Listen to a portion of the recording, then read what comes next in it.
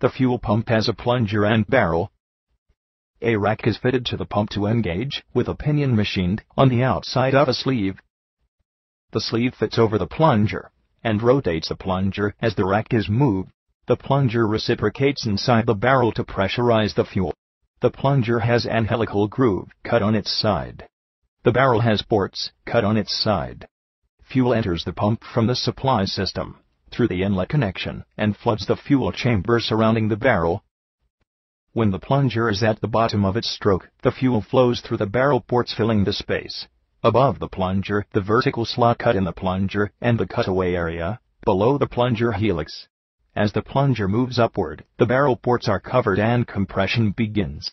As the plunger continues to move upward, fuel is discharged through the lifted delivery valve into the high pressure pipe. Fuel delivery stops when the plunger helix uncovers the spill port. The fuel spills back to the fuel chamber, through the ports. The delivery valve returns to its seat and closes. The quantity of fuel delivered is regulated by the vertical length of the helix, where it is in line with the port. The vertical length depends on the plunger position.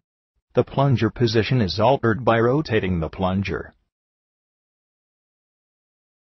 The fuel injection will start at the same time for all plunger position. The time at which the injection stops will depend on the plunger position. The plunger position is controlled by the fuel rack. The fuel rack of the pump is connected through linkages to the main fuel lever and the governor. The fuel injected into the cylinder is controlled